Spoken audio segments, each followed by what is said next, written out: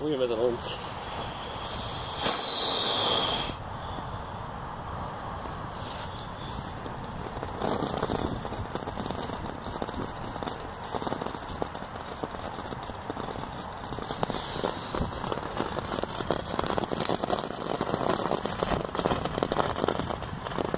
Die vrouw kijkt niet bij.